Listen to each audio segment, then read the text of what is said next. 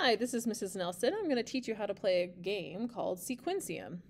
Sequencium is a two-player game. Each player needs a different color pin or marker. Or alternative, alternatively, one player uses a pin and the other uses a pencil. The game is played on a 6x6 grid. For a longer game, you can play on a 7x7 or even 8x8 grid. Each player begins with the numbers 1, 2, 3 as shown. What is the goal? To reach a higher maximum number than your opponent does.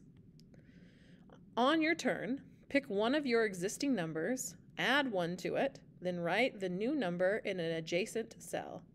The adjacent cell can be vertical, horizontal, or diagonal.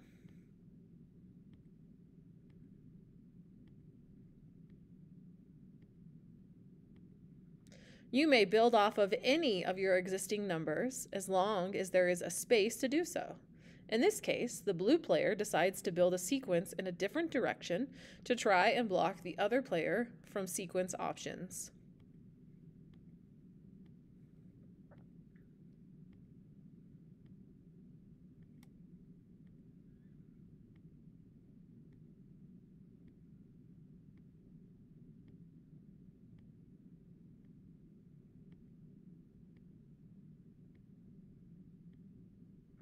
Play until the board is filled, even if one of the players can no longer make any moves.